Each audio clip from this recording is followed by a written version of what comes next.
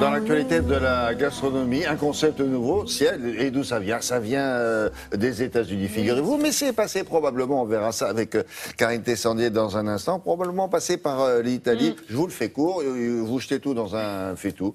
Euh, et puis voilà, Ah non, c'est pas aussi rapide que ça. Euh, euh, ça s'appelle comment? Ça porte un Ça nom? s'appelle le One Pot Pasta. C'est révolutionnaire, je vous jure, William. C'est une méthode de cuisson des pâtes rapide et efficace. Pourquoi? Parce qu'on met effectivement tout dans la marmite. Vous mettez les pâtes comme ça, sèches, hein, vraiment, avec euh, la tomate, le petit bouillon, le basilic, euh, le poulet, ce que vous voulez. Vous mettez tout dedans, un peu d'eau.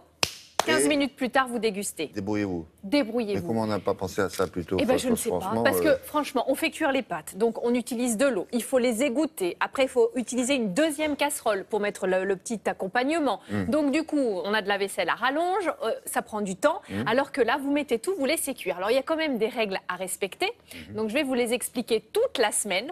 Parce que c'est simple, mais il faut quand même une semaine pour Oh bien oui, comprendre l'idée. Oh, ben oui, oui. Et surtout, je vais vous montrer que toutes les pâtes s'y prêtent. Donc effectivement, ça a été, euh, c'est né en Italie, dans la région des Pouilles, et ça a été vraiment popularisé par Martha Stewart aux États-Unis, qui est une dame qui présente beaucoup d'émissions de télévision, qui c'est aussi c'est votre, euh, votre homologue américaine oui, si vous voulez. Enfin, moi, je lui arrive pas à la cheville. hein. C'est vraiment une femme d'affaires, spécialiste de, de l'art bah, de tout, vivre. Elle a quasiment une chaîne de cuisine. Ah hein, oui, oui, c'est vraiment quelque chose de très important. Donc, cette idée-là est géniale. Je vais vous en parler toute la semaine et on va commencer aujourd'hui avec un plat à base de farfalle, les one pot pasta papillons. Et on va utiliser des tomates cerises, du chorizo, du basilic, de l'ail, de l'oignon, des capres et un bouillon cube. L'idée, c'est quand même de bien assaisonner votre plat. Ça, c'est très important.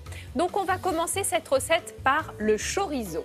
On va le couper en petits tronçons, on va enlever la peau et le couper en petits dés. Et vous avez remarqué, William, dans ma liste d'ingrédients, je n'ai pas de matière grasse, pas de crème, pas de beurre, Ah bah rien ça, du tout. Pour une fois, ça, c'est vrai. On va, et ce sera le cas toute la semaine, Ah. on va faire suer le chorizo. Ouais, et on... chorizo. Pas que lui que je vais suer. Et on va ciseler l'oignon que l'on va rajouter et on va se servir de- du gras du chorizo pour faire revenir notre petit oignon. Alors, chorizo et oignon, ça c'est fait. Maintenant, on va ajouter un petit peu d'ail, de l'ail pressé directement au-dessus de la casserole. Chorizo, oignon, ail. Maintenant, on va euh, s'occuper des tomates cerises. Alors, des petites tomates cerises parce qu'elles sont assez sucrées, elles ont bon goût. On les coupe simplement en deux et on les ajoute de nouveau dans la cocotte. Donc là, vous voyez, ça commence à prendre forme. hein.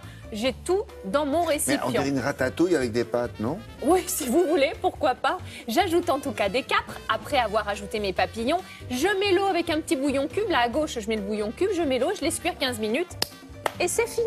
Et après, j'ajoute mon basilic frais. Ça, je ne l'ai pas mis tout de suite parce que je veux garder quand même cette fraîcheur de, de l'herbe fraîche. Comment ça marche? Eh bien, en fait, l'amidon des pâtes qui vont cuire dans le plat va faire en sorte que ce soit très onctueux, va lier l'ensemble et va nous faire un plat de pâtes complet, en l'occurrence ici plutôt à consonance italienne avec du basilic, des, des petites tomates, un peu de chorizo, un peu de capre, euh, voilà. Et on a un plat tout fait. J'ai mis directement la cocotte sur la table, pas euh, 18 casseroles, on fait vraiment euh, des économies de temps et d'énergie également.